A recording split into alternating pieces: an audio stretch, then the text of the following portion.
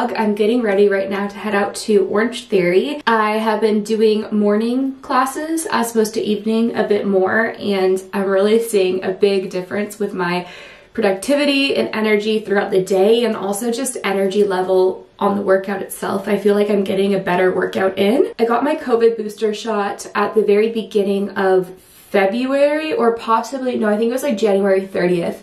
And now it's towards the end of the month. This vlog, by the way, is the compilation over the month of February. When the new variant really hit, I stopped going to Orange Theory. I didn't feel comfortable until I got the booster shot. If you're not boosted yet, you have the opportunity to do so now because the booster shots are available for anybody 18 and over who got Pfizer or Moderna either six or more months ago or if you got Johnson & Johnson two or more months ago. I can definitely feel like we have no control or protection with all the new information that is coming out daily and the potential for different variants. But the one thing that we do know is that getting vaccinated and boosted is still the best way to protect against serious illness. And according to the Washington Department of Health, Unvaccinated 12 to 34 year olds are three times more likely to get COVID, and they're eight times more likely to be hospitalized with it. And I really encourage you to go and get your booster shot if you haven't already done so. I'm headed out to Orange Theory now. Here's what I'm wearing. This top is from Girlfriend Collective and it's made out of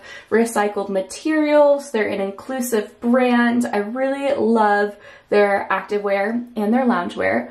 And then I have a little matching scrunchie, how cute. Lululemon leggings. I've already got quite a bit of work done this morning. Um, I woke up at 5 and I couldn't go back to sleep. Usually I can head back to sleep and wake up at like 7 but in this case I couldn't. So I worked on the computer and then I have a couple other errands that I'm running today. I'm taking my mom to a doctor's appointment and then I'm going to set up get everything prepared for a photo shoot and I have a new camera bag. Now it's not a backpack, it's not a crossbody bag. It's like a trunk, like a suitcase, a hard shell suitcase. And I've been using it for about a month or so and I love it so much. this is since I haven't vlogged really since what, maybe Christmas time? Probably more like beginning of January. It's been a while. Um, I've been using it, loving it, and I'm excited to share it with you. So I'm gonna head out to Orange Theory and then I'll catch up later today. Camera bag update time. So I was using the Lowepro Freeline backpack for 2018, 2019, 2021, 2020, four years now. I still love it and I will definitely continue to use it for photo shoots. But for photo and video shoots for YouTube, I've kind of upgraded to this little trunk. This is a hard shell and it's from Manfrotto, which is the brand that I get my tripods from.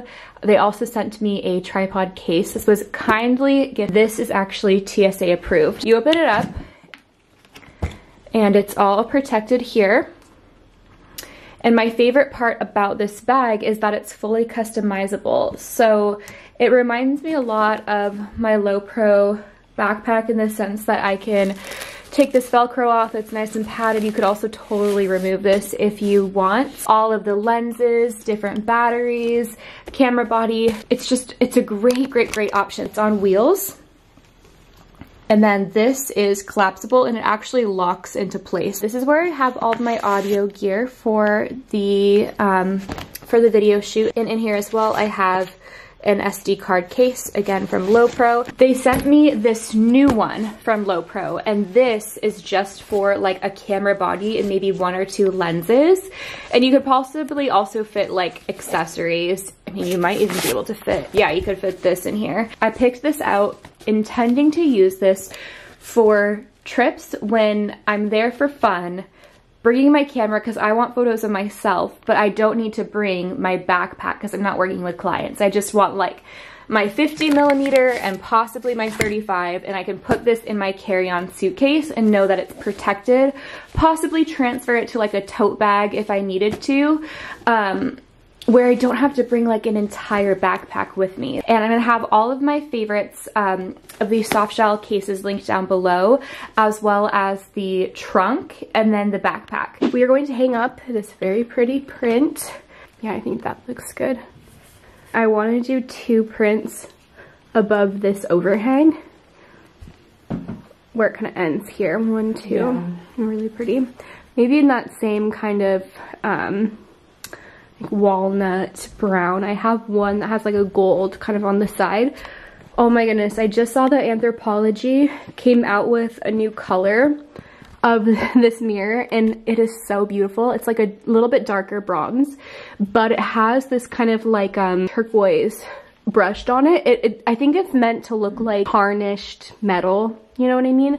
It's so, so beautiful. I mean, I still love mine, but oh my gosh, it's so pretty. So, and then this is looking cute. And then I think I've decided on a chair for out here. And then maybe someday getting a, a table or a another lamp for here, like a big feather one could be kind of cool. I hear Bumblebee. Hi, my love. Hi. All right, here is what the art looks like on the wall. So I'll have this link down below, um, the print. And one thing is I ordered 11 by 14 and that is the size of the print itself, but it does come on paper that is slightly larger. So you will need to trim it down. And I just think that this looks so beautiful. I love the Parisian location that it shot at. I love the black and white graphic stripes. I love the colors. It just looks so beautiful in this room. So I'm so happy with it and I love the walnut frame. It's Saturday evening and earlier this week I organized my closet here in my studio. Now, this closet has been a catch-all for lots of items, haven't gone through it since I moved a year ago, and I have half my photo gear in here, half in another place, and I just want one place where I can put the majority of my gear, but also my office supplies, card things like that, because they've been scattered all along the house. So I've already gone through, organized it. Now I have everything sorted out, so I'm gonna walk you through it, and then later tonight, my mom is going to hang up some shelves that I bought at the Home Depot earlier this summer. First off, here is the closet. Now, this is the half that will have the shelves put up. Other half is still moving boxes, and then I also do have my seamless paper um, tucked away in this bit on this side. There are some random um, lamps. These lamps will be moved out. I actually have new shades that just came in for them. So here we have curtains. Maybe I can get my mom to hang up the curtains for in here because I also do have a curtain rod. Now this is kind of what I have got organized um, right now. So these are random bins and eventually it would be cool to get some that are like hard shell where everything is unison in the entire closet but for now this works great. So most of the stuff used to be held in these amazing Lowepro soft shell organizer um, pouches. Excited to be able to use these now in conjunction with my hard shell case from Manfrotto which does come with um, this insert. These are over on the side, but previously they had like all the batteries. Here we have battery chargers and then some batteries, and then this is a charger for my audio gear, which I'll show in a second. And here I have my little tripod guys for like vlogging, and then um, lens hoods. These will get organized somewhere else. I have SD card holders and then I have some extra CF cards. This I don't use so much anymore because I'm not shooting on a CF card, but this is just like little bits. Um, this is something like a phone tripod thing, but it doesn't work the way that I need it to, where it's like on a vertical. And then I have this little moment lens for um, your web camera, which is cool. And I believe you can also put this on the phone if you have the attachment. Here's my flash, some electrical tape for covering up logos. I cover up logos a lot of the times um, because in some sponsored content, like I can't have logos showing. If you notice, like I have to sometimes Photoshop the Apple logo out in paid partnerships, things like that. This is my little LED light for vlogging. I love this. You can change the intensity and then you can also change um, it like on the Kelvin scale. So from super warm to super cold and I love putting this on my vlogging camera. It's also a great selfie light. so this is what is in here and for now this makes sense. And then in this bin, you can see it's all kind of like upcycled things. Um, in here I have all of my lens filters. So these ones in the square are from Polar Pro. And then the ones in the circle are from Moment. So these are lens caps and then these are all like lens cloths. I thought that kind of made the most sense for this spot. Hi, my love. And then in the closet here, I have all my audio gear, and then I have hard drives, and then these are my like card making things, and then more storage just for cards, office supplies, moving boxes, like I said. I do need to find a solution for where I want to store like my Lowepro camera bag, and then, do you want out, my love? there, oh, watch out, my love, watch out. There you go. Maybe he just wants to watch. So for my camera bag and then like my hard shell bag and then my tripod case. Okay, it's Monday and the shelves are up in the closet. How amazing is my mom? The These three are all hung on the stud and then these three are not. And I'm so excited. So she made it so that these bins can perfectly um, fit in there. And then I can put like this one up here on this taller one I'm so happy. This is going to make such a big difference.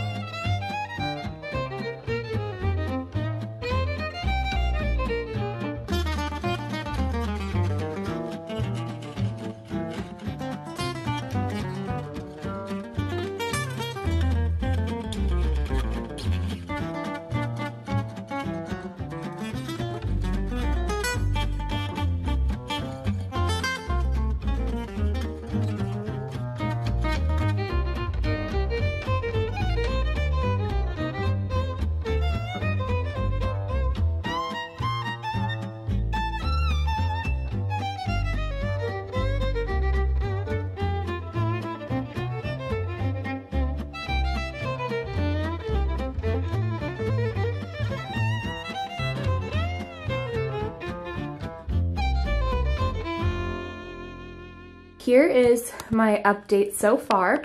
Now, I definitely want to get some more of these size bins at Ikea and get like four more so I can put two here and then two here.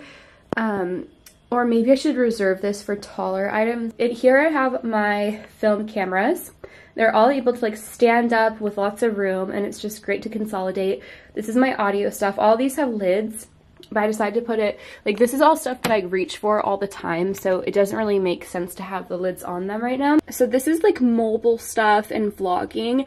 Um, my vlogging tripod actually fits in here perfectly. The only random parts are like this electrical tape and then I have my flash. So maybe I'll find somewhere else to put um, those, but for now it works great. These are like my lens filters, lens hoods. This is my 50 1.8. Um, and I do plan on putting lenses probably in like this size and just having them all stand up. I don't have that many, so it'd fit, it'd probably fit in something like this, honestly. Um, and then here's all my chargers and batteries for my cameras. And then this is SD stuff. These are empty, um, but I have like my CF reader. And then these are used SD cards that I have for YouTube videos. If these were like client files, they would be handled in a different way.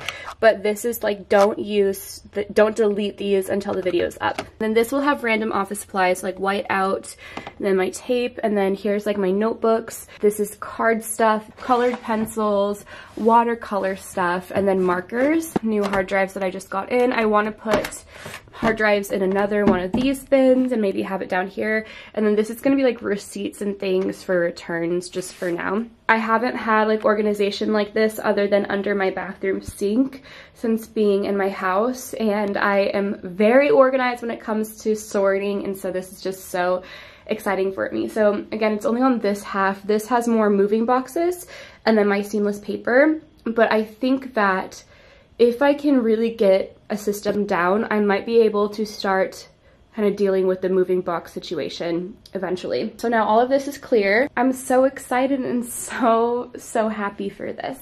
All of the curtain tiebacks are in and today we're going to hang them up. So these are from Anthropologie and you can frequently find these on sale. Even make a list on Karma, which is like a Google plugin and then it will alert you when they do go on sale. So we have these two peacock ones and then four of these iron ones.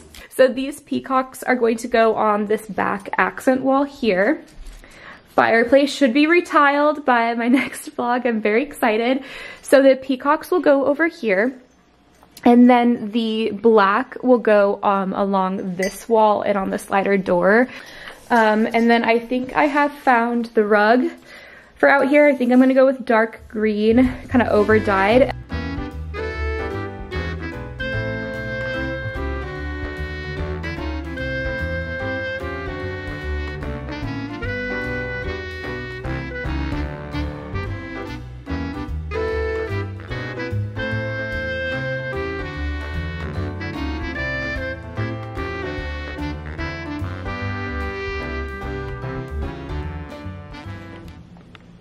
My goodness. Okay, I just brought these all up because I have two new pairs of boots from Alohas. This is one of the most exciting things I can include in a vlog. So Alohas, which is my favorite place to buy shoes. I have about six pairs I've purchased on my own, reached out to me and gifted me two pairs, two pairs of boots. So I discovered Alohas from a Google search when I was looking for the perfect pair of white boots. And then I saw that they're sustainable, ethical, and they produce on demand. So they're not like in overproduction and that kind of reduces the amount of things in the landfill. It has like the um, wooden heel and bit right here. And then I got this pair for my family for Christmas. Same style with the wooden, but in the faux croc brown because I wore these white ones so much and at first I wasn't sure if I'd get that much use out of a pair of white boots but these are my most worn. They do pre-order and when you pre-order you can get percent off. So I got these for $75 whereas when it was the full price I believe you were looking at like 120 I don't remember but the point is you can get them for pre-order and then they have production and then the full price. And then they're always running other like 30% sales. So you never have to buy the Aloha shoes at full price. The quality is definitely higher than like Steve Madden or Sam Edelman, kind of those like mid-tier brands that you would find at Nordstrom. I know as photographers, it's really hard for us to find a cute pair of shoes that are also maybe trendy or somewhat in style. Like we don't just want to wear nude ballerina flats all the time. This is a great option for photographers. So I'm going to show you what I already have and I'll have all of these linked down below because now I'm an affiliate with Alohas and then I'll share the two boots that I got. So the pair that I have been wearing the most besides those white boots are these loafers wanted a pair of chunky loafers. I ordered a pair from Sam Edelman and they just looked like clown shoes on me. The proportions were really off and it was like this bright white patent leather. It just looked like a costume. These are perfect because the proportions, I love how it tapers up ever so slightly.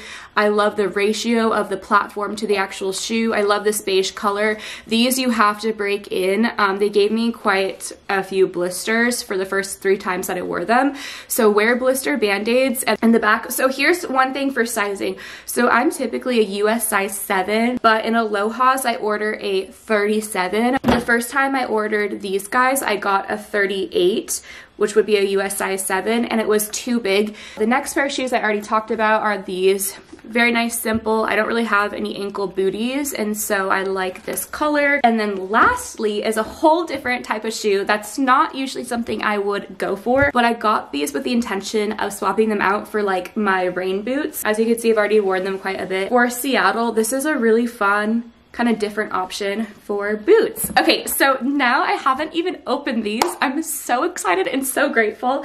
So when they asked me what I would like, I was like, I'm gonna do another knee-high boot, but in a extremely versatile, I'm gonna go with the more boring option of black and then I saw that they also had a camel color because I know I'm gonna get the most use out of the block, maybe even more so than these cream ones. These are my number one recommendation. Always, um, if you sign up for an account, you can get like 25% off and then if you buy in production. So just keep your eye on the Alohas website and I recommend buying from Alohas website, not from like Revolve or Anthropologie because that's where it's gonna be full price, which I guess if the shoe is already full price on Alohas, then you could go either way. Oh my goodness, I love it. So I got this, the North style boots in two different colorways.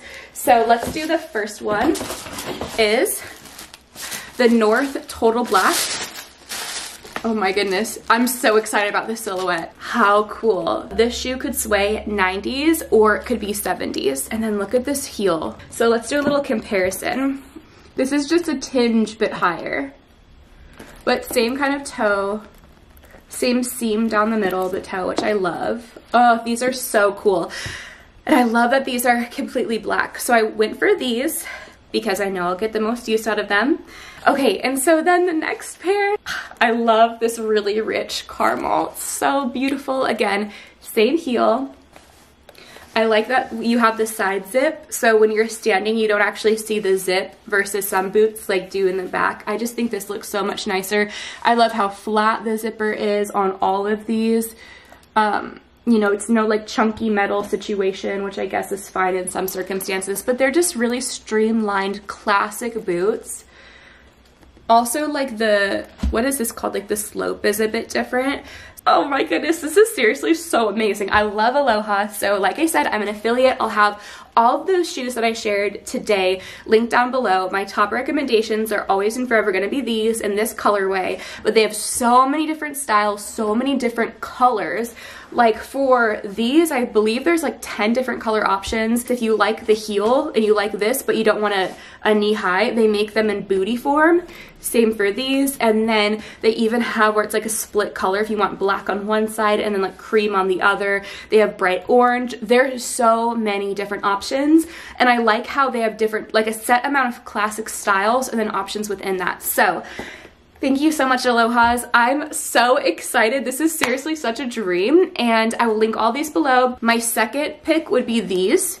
But again, just be forewarned. Think about like when you have to break in a pair of Doc Martens. That's the same thing with these, but they're great to swap out sneakers. And I can't wait to start wearing these. So I actually am about to head out to a photo shoot at the studio. I'm gonna do two outfits and then um, for my own content and then a model is coming and I have all my gear packed up. Here's what I'm to be wearing to the studio to shoot my first look in. It's both from LA Apparel. These are the pants I'm always talking about for photographers for like weddings. Um, they pack down really nicely. They're thin, so they're gonna work no matter what climate you're in. My favorite item of all from LA Apparel are these knit tops.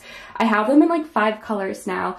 I wear them all the time. They're really good quality, really thick. So this is my first outfit I'm gonna shoot and I'm gonna do like a black belt with it. And then I have a little LA Apparel tennis skirt and green cardigan and then I'm gonna be doing another one of these knit tops in lime green and then some J. Crew printed floral pants. Um, to shoot in because the model's wearing dark green. So I always like to coordinate a bit. This has been a compilation of clips over the month of February and going into March I have so many fun home updates. Actually the tiling on my fireplace is almost done but I'm going to save it for full results and result for the next vlog. So be sure that you hit subscribe so you're the first to know when new videos like this come out and free photography tutorials for your business. You can follow me over on For photography and for more home content. And I'll see you in my next video. Bye.